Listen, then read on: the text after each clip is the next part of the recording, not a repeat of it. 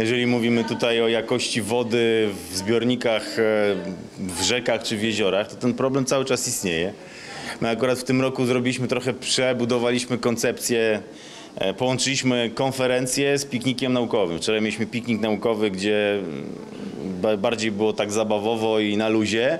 Natomiast dzisiaj już jest trochę poważniej, e, różnego rodzaju tematy właśnie związane z tymi, z tymi kwestiami. Natomiast no, tak jak mówię, no, redaktor pan się mnie tu zapytał, dlaczego tak samo gadamy. No gadamy o tym praktycznie, jak możecie sobie Państwo przeczytać gdzieś tam, czy zobaczyć, co się dzieje w rzece Odrze, kanał Gliwicki, dalej e, zasolenie prawie Oceanu Atlantyckiego i praktycznie no, wszyscy wiedzą, no i tak naprawdę dzieje się mało w tym temacie.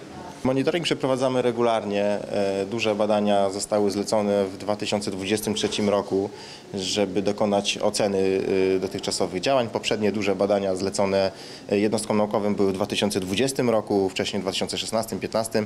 E, Jest, wykonujemy ten monitoring po to, aby po prostu można było ocenić nasze, nasze działania i wiedzieć, jakie kierunki mamy obrać. Co z nich wyniknęło? Okazuje się, że Dotychczas wykonywane przez lata e, zabiegi rewitalizacyjne oczywiście są skuteczne, e, powodują obniżenie zawartości fosforanów w toni wodnej, natomiast musimy sobie zdawać sprawę z tego, że ten fosfor on nie ucieka, tak? on, on nie wyparowuje, tylko on zostaje zdeponowany w osadach dennych.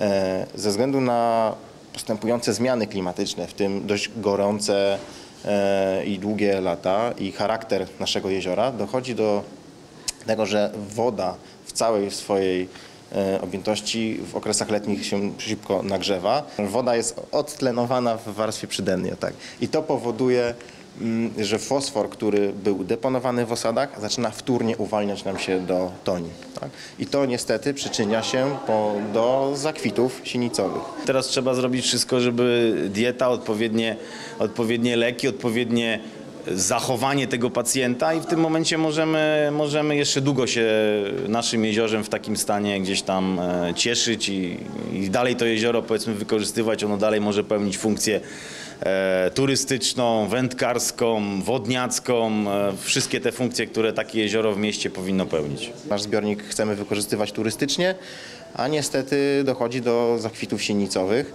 e, które powodują wyłączenie plaż z użytkowania. E, Stan jest umiarkowany, biorąc pod uwagę wskaźniki, które na, które, którymi się ocenia tak, taki stan zdrowotny jeziora.